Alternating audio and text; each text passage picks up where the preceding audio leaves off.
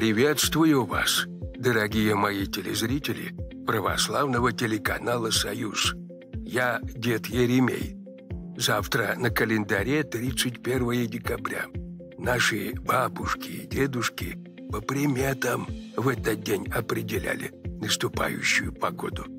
Если снег падает огромными хлопьями, то сильного мороза ждать не стоит, а, возможно, даже нагрянет оттепель.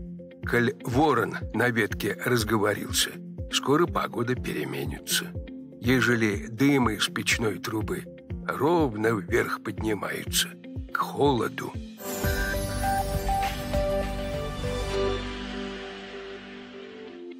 А какая же погода ждет нас завтра, 31 декабря? Сейчас я вам об этом поведаю. В поселке Новый Мир Троицкого района Челябинской области похолодало. За окном минус 12. Новогоднюю атмосферу дополнит снег, которого, кстати, выпадет немало. Так что, возможно, лопатой поработать придется. Снегопад пройдет и в поселке Новый Свет, Ижморского района Кемеровской области, а температура остановится на отметке минус 18. Надеюсь, снег не помешает последний раз в этом году пробежаться по магазинам, чтобы подготовиться к праздничному столу. К празднованию Нового года подморозит даже в Сибири.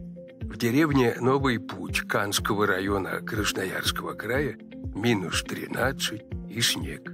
С начала января температура резко повысится, а снег останется – а в поселке Новый Быт Селивановского района Владимирской области минус 6.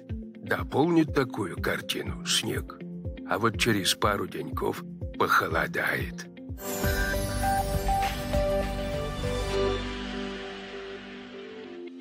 А напоследок хочу пожелать вам, мои дорогие, пусть, несмотря на погоду, в душе вашей всегда светит солнце – а в доме царит теплота и любовь, как заповедал нам Господь.